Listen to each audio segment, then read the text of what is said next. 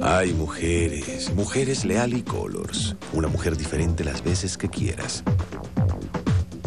Con tonos rubios, cenizos, marrones, cobrizos o rojizos. Mujeres Leal y Colors.